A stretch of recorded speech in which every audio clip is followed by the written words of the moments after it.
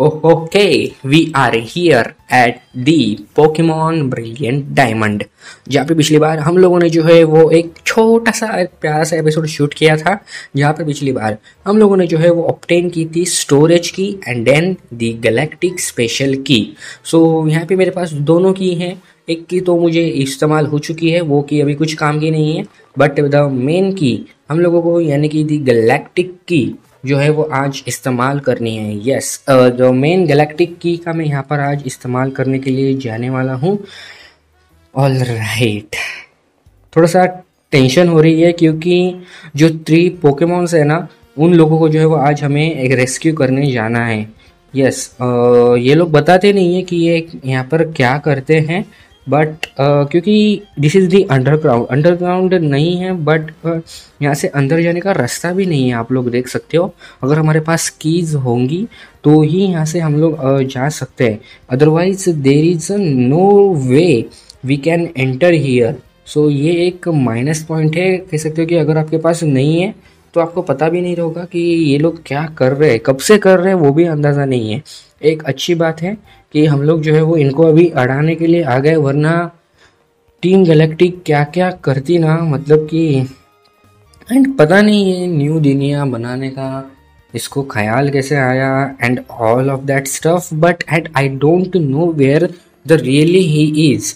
Where is जब आप लोग थियरी पढ़ोगे ना, वेयर इज़ एक सेकेंड ना, मैं एक गूगल ओपन किया हूँ, वेयर इज़ टीम गैलेक्टिक का boss Cyrus. Okay, Cyrus.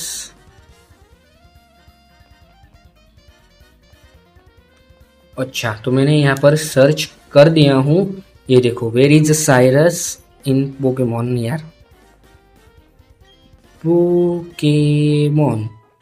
Okay तो Cyrus is the first scene at the Lake Verity it saying that he will make the world is one day is then say in Eterna City looking at the Pokemon statue अच्छा ये तो हम लोगों ने Cyrus left the capture of Ash and is friend to Saturn is follow commanders with Ash and is friend they are hostage Cyrus went to Mount Coronet to access the spear pillar using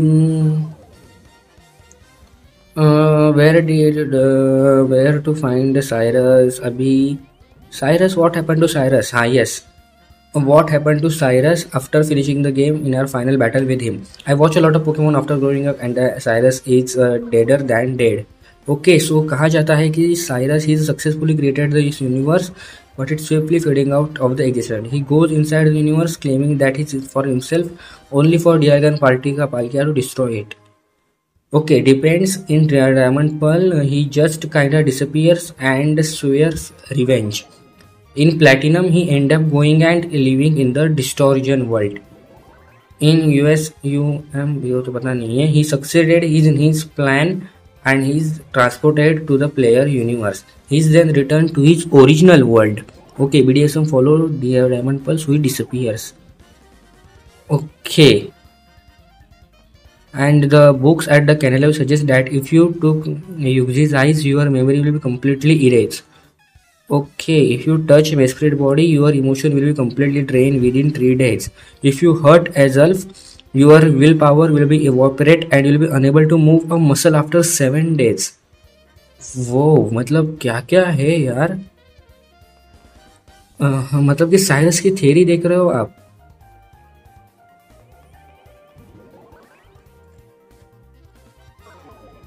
and Pokemon Cyrus जो है वो Ultra Sun and Ultra Moon में जो है वो दिखाई दिया गया था। Yes Pokemon Ultra Sun and Ultra Moon की जो है वो यहाँ पर डीएलसी रिलीज़ हुई थी। तब uh, उसमें जो है वो उसको दिखा गया गया था। एंड uh, वो जो है वो कह सकते हो कि एक रेमबो रॉकेट में जो है वो शायद से आ, uh, मतलब कि यार मुझे भी आइडिया नहीं है क्या होता है उसका। बट uh, देखा जाए तो in Diamond Pearl Diamond and Shining Pearl में जो है वो डिसअपियर्ड हो जाता है। तो देखा जाए तो डायमंड एंड शाइनिंग पल में उसमें तो ये डिसअपियर्ड हो गया। But in the other games यानी कि प्लेटिनम में जो है वो वो डिस्टोर्जन वर्ल्ड में चला जाता है।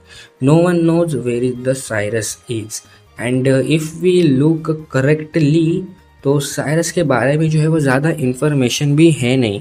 तो देखा जाए in Pokemon Ultra Sun and Ultra Moon currently हमारी वो सीरीज़ आएगी ज़रूर अभी। तो उसमें जो है वो देखा जाए तो साइरस की अपीरियंस होती ज़रूर है। यस साइरस अपीयर्स तो उसमें जो है वो कहा जाता है कि उसने उसने अपनी दुनिया बना ली है and all of that stuff also but this is just theory I guess if I assume that so it is just theory Pokemon Ultra Moon में तो मैं वैसे भी वो नहीं खेलने वाला हूँ। यहाँ पे पोकेमोन कह सकते हो कि हम लोग नहीं खेलेंगे। तो देखा जाए तो यहाँ से भी मज़ा आएगा यार। मतलब कि थोड़ा सा परेशान हो गए यहाँ पर। क्योंकि गाइज़ यार साइरस पोकेमोन प्लैटिनम ना मुझे इतना ज़्यादा पसंद क्यों आया था पता है? ये न्यू दुनिया की बात तो करता था बट पोकेमोन प्लैटिनम में ना जो डिस्टोर्जन वर्ल्ड में हम लोग एंटर हो जाते हैं एंड uh, उसके बाद जो है वो कह सकते हो कि हम लोगों को बैटल करना पड़ता है against the I guess Cyrus और हम लोगों को बैटल करना पड़ता है गिराटिना के साथ। तो वो जो बैटल था ना वो काफ़ी ज़्यादा डिफ़िकल्ट था। If you follow my Pokemon Platinum series ना तो आप लोगों ने अच्छे से, अगर आप मेरे पुराने सब्सक्राइबर हो तो आपको याद ही हो, मैंने पोकेमोन प्लैटिनम में जो है वो फेस कैम भी किया था। Pokemon Platinum was the greatest series best series थी मेरे लिए। काफ़ी टाइम पहले खेली थी मैंने टोटल उसके सेवेंटीथ एपिसोड आए थे ऑलमोस्ट या सेवेंटीथ एपिसोड तक चली थी वो, क्योंकि बड़े, बड़ा था सीरीज़ वो, बड़ी थी। उसमें हम लोगों ने रीमैचेस भी किए थे। देखा जाए तो वो स्पीयर पिलर के बाद कह सकते हो कि कैसे वो आ जाता है यहाँ पर and then the Giratina battle भी करता है हम लोगों के साथ। वो जीत तो जाते हैं बट उसके बाद साइरस की अपीरियंस कभी भी हुई नहीं है। In the real world also अगर आप लोगों को याद हो, अगर आपने पोकेमोन की एनीमे फॉलो किया हो, उसमें भी सेम यही चीज़ होती है। वो स्पीयर पिलर में ही कहाँ पर तो वो वैनिश हो जाता है। And then he does not appeared again मतलब कि उसका सपना जो है वो चूर चूर हो जाने के बाद जो है, जब ऐश उसका सपना कह सकते हो कि ख़त्म कर देता है ना तो वो कह सकते हो कि शायद से वो मेंटली डिस्टर्ब हो जाता है and he went to this pier pillar ये सारी चीज़ें हो जाती हैं साइरस के साथ। मतलब कि जब आप पोकेमोन कह सकते हो कि डायमंड एंड पर्ल खेलोगे तो वो गायब हो जाएगा। But in Platinum also he will be send to distortion world he will be go to distortion world वो खुद से चले जाता है डिस्टोर्जन वर्ल्ड में। एंड कह सकते हो कि यही शायद यहीं पर इसमें भी होगा। वो जो है यहाँ से गायब हो जाएगा। No one knows where he is now some one claims that वो जो है वो यहाँ पर कह सकते हैं वो अपीरियंस करेगा in future in future games जहाँ पर वो अपना पूरी दुनिया बनाने के बाद जो है वो बदला लेगा इन लोगों से। ये सब थेरीज है।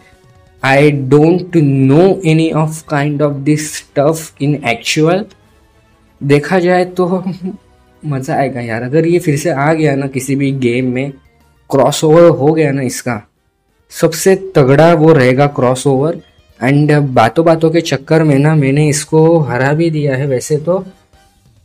देखते हैं सर यहाँ पर अभी okay this is why I have abandoned okay so guys यहाँ पर अभी ऑल राइट सो इसने जो है वो कह सकते हो कि हम लोगों को परमिशन दे दी है। Okay this is your reward yes इसने रिवॉर्ड में क्या दिया है हमें? एक master ball all right so we have obtain the master ball so it will be helpful to catch हम लोग क्या खेल रहे हैं? ब्रिलियंट डायमंड ना? हाँ यस ब्रिलियंट डायमंड यानी कि it will be really helpful to catch Dialga yes आपको तो पता ही है एक मास्टर बॉल रहता है. मैं कौन सा तो एक लेजेंडरी पोकेमोन मास्टर बॉल से ही कैच कर लेता हूँ. इसमें ज़्यादा कोई मैथ्स uh, की बात नहीं है. एंड यस हम लोग अगर चाहते हैं तो वो लेक के जो पोकेमोन है, वो हम लोग फ्री कर सकते हैं। And he is going to the Mount Coronet जहाँ पर हमारी पहली मुलाकात हुई थी।